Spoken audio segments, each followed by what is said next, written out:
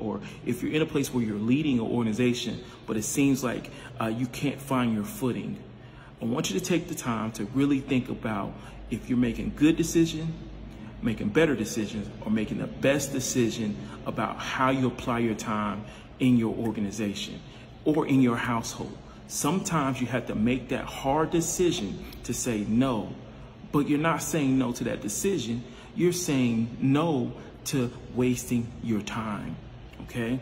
So, on today, day three, I'm going to pray for clarity and understanding in your true calling as a uh, organizational leader, a community leader, or just a leader in your household or your business. You know, I'm going to pray for you because clarity, clarity is king, I promise you. So, Heavenly Father, I thank you uh, for uh, bringing us here again this morning, Lord Father God.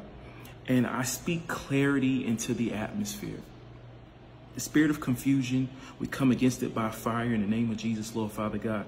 Lord Father God, uh, the spirit of fear uh, for the unknown, Lord Father God.